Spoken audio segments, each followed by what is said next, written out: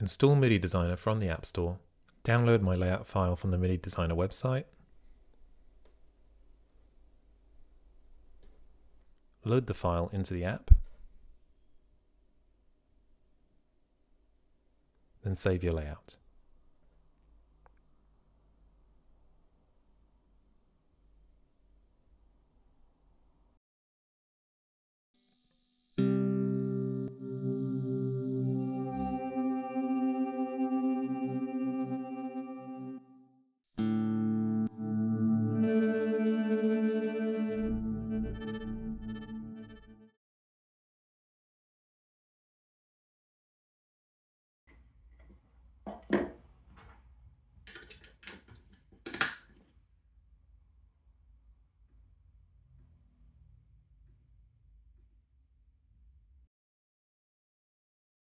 You can use the first two pages without an app subscription or purchase that covers the main controls, just with a limited color palette.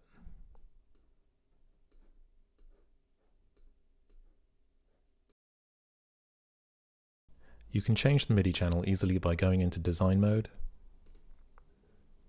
double tapping the tab, going to the controls section,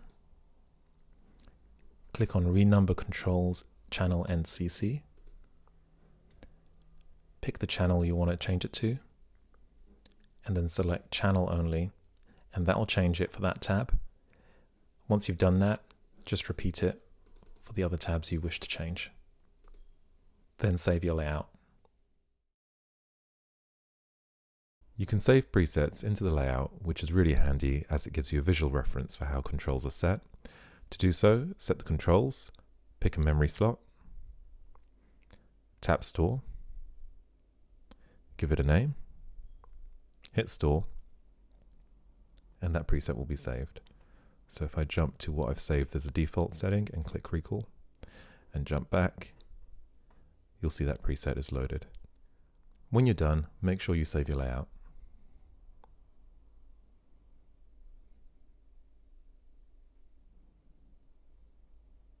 If you want to see or edit what's connected to this preset saving system, you can do so by going into design mode, double tapping here on the box, going to the relationships tab, subcontrols, and here you'll find a list. If I tap size, for example, you'll see the control jumps up and down to show it's connected. If I click edit, I can remove and reorder. And say I wanted to add something new. For example, I haven't added dry kill or trails. You hold down on drag to subcontrol, move that over the control you want to add, and you'll see it added there. And then once you're done, you just need to save your layout.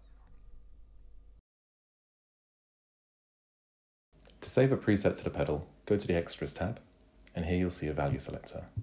As I scroll through, you'll see in the log nothing's being sent. But now I want to save it to slot 1, as soon as I hit save preset, you'll see the light slide up on the pedal and the CC value being sent. So let's do that now. And that preset is saved.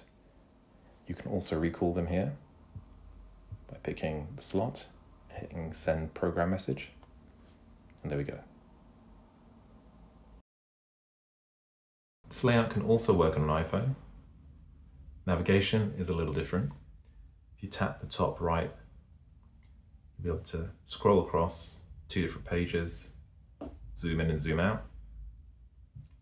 Tap it again, you get back your control.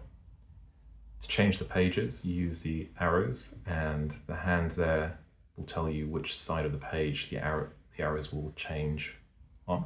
So I'm on the left hand side at the moment, scrolling through the pages.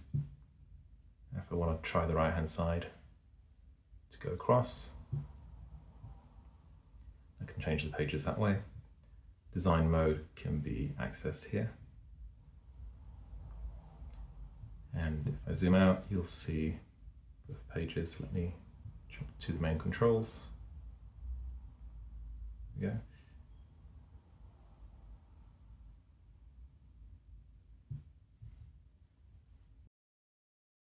If for any reason a new or existing control is not behaving correctly, and you want to check what's going on, you can do that by going into the log in the main menu, tapping a control, and there you'll see the CC or program message that's being sent out.